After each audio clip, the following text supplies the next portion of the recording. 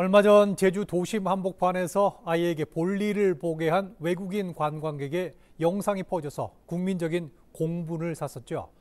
최근 외국인 관광객이 다시 늘면서 무단횡단이나 쓰레기 투기 같은 기초질서 위반 행위가 다시 늘어나자 경찰이 현장 단속에 나섰습니다. 김경임 기자가 단속 현장을 동행 취재했습니다. 외국인 관광객들이 많이 찾는 제주 시내 한 번화가. 외국인들이 왕복 4차선 도로를 아무렇지 않게 가로지릅니다. 달려오던 차량이 깜짝 놀라 경적을 울리기도 합니다. 이에 따라 경찰이 기초질서 위반 행위에 대한 단속에 나섰습니다. 단속이 시작된 지 20분 만에 무단 횡단을 하던 50대 중국인 남성이 적발됩니다. 在韩国不可以乱穿马路的。所以我们因为看见到这里来吃饭。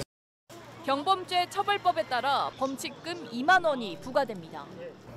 明天你出境前去银行，在机场的银行也可以。 OK OK。嗯，交罚款就行了。啊，嗯嗯。 I'm sorry, sorry. 경찰 앞에서 아랑곳 않고 무단횡단을 시도하던 중국인 여성들. 경찰이 이들을 발견해 제지하고 가까운 곳에 있는 횡단보도 위치를 알려줍니다. 그런데 이 여성들 경찰의 눈을 피해 다시 무단횡단하다 결국 붙잡혔습니다. 그러자 몰랐다며 잡아댑니다.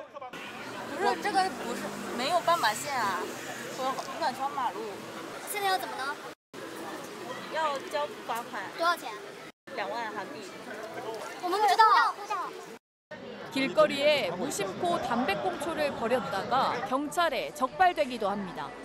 30대 중국인 남성에게 범칙금 3만 원이 부과됩니다. 쓰레기 투기 하셨어요. 쓰레기 투기. 이제 담배. 담배꽁초. 투기 네, 그래가지고 그 우리나라에서는 아, 네. 그 경범죄 처벌법으로 담배꽁초 버리면은 처벌 받는다고 설명해 주세요. 경찰이 단속에 나선 지 2시간 만에 기초질서를 위반한 외국인 5명이 적발됐습니다. 코로나로 인해 한동안 줄어들었던 외국인 관광객이 회복세를 보이면서 기초질서 위반 행위도 늘어나고 있어 경찰은 단속을 강화하고 있습니다. 애국인 밀집 지역과 애국인 주요 방문지에 대해서 가시적인 순찰 활동을 하면서 기초질서 위반 행위에 대해서는 강력한 단속 활동을 지속적으로 하겠습니다. 이와 함께 위반 행위를 알리는 외국어 책자를 배포하는 등 관계기관과 협력해 홍보 활동도 진행할 예정입니다. KCTV 뉴스 김경임입니다.